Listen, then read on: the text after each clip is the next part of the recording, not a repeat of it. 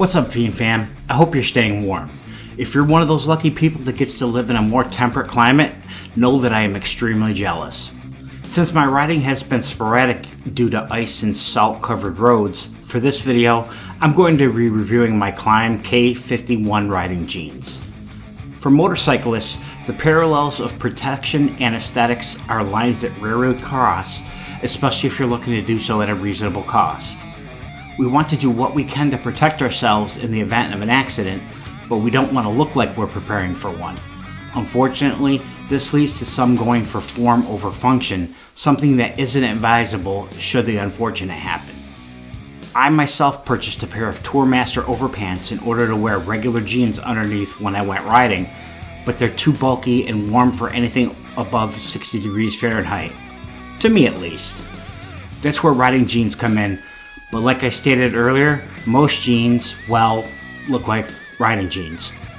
Well defined armor areas that can protrude or odd stretch panels on the legs do not a good pair of jeans make, especially if you're someone like me who just prefers a standard relaxed fit pair of jeans.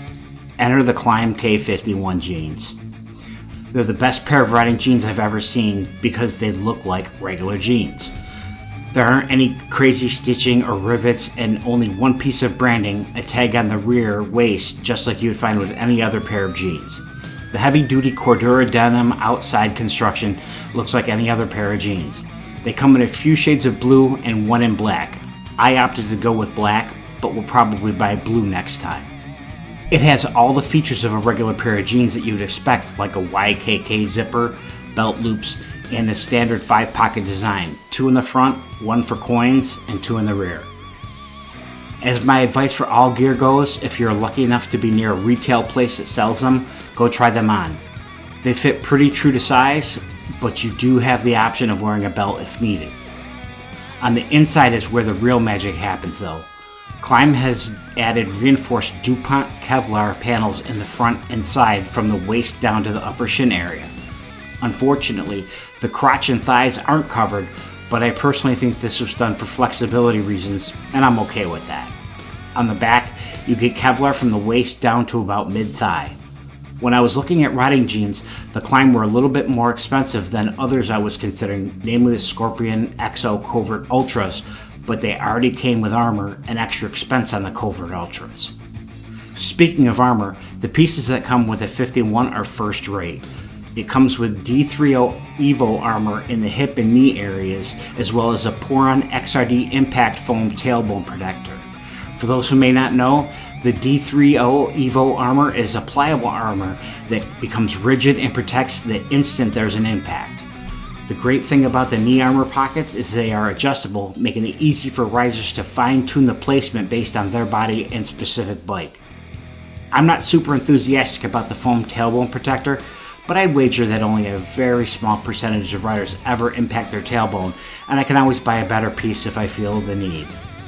While not nearly as warm as my overpants are, the Kevlar lining makes for a jean that doesn't breathe as much as regular jeans would. I'm one of those people who's outside in the middle of winter snowstorm in shorts and sandals, so take what I say with a grain of salt. I'm a big fan of sweating over bleeding, so these are pretty good on almost any day. The worst case scenario, if you're feeling warm, is to simply just throttle it out. The only way I can see these getting uncomfortable is if you're stuck in bumper to bumper traffic with the sun beating down on you. And let's face it, at that point, even a regular pair of jeans wouldn't feel that comfy either. On the flip side of that, I wore them a lot in temps all the way down to the high 30s, and they kept my lower half warm enough all by themselves. If you're anything like me, it doesn't matter what they look like or the features that they have, I want to know how they feel.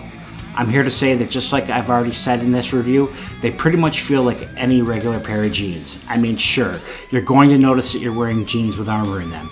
They do feel a hair bit heavier than regular jeans due to the armor and Kevlar. With that said, when I'm riding, I don't notice it. When I'm walking, I generally don't notice it either. It's mostly noticeable when I first get home for a ride, take off my jacket and boots, and sit down on the couch to run the ride back through my head. Even then, it's not too bad, it's just noticeable. Considering that you can don and doff these jeans just like any other pair, they make for a great commuter pair as well if you're so inclined. Coming in between $289 and $309, they definitely aren't cheap. But if you're someone who's serious about safety without wanting to look like you're serious about safety, these Klim 51 riding jeans are about as good as you'll find. They definitely get the Fiend seal of approval. Okay, that'll do it for this video. If you're new here, I make weekly content. If you've liked this or any of my other videos, please consider leaving a like, subscribing, commenting, and sharing with your friends. It really helps out the channel, and I want to do as much as I can to give back to the community. For those that are returning, thank you so much. As always, stay shiny side up. Throttle Fiend out.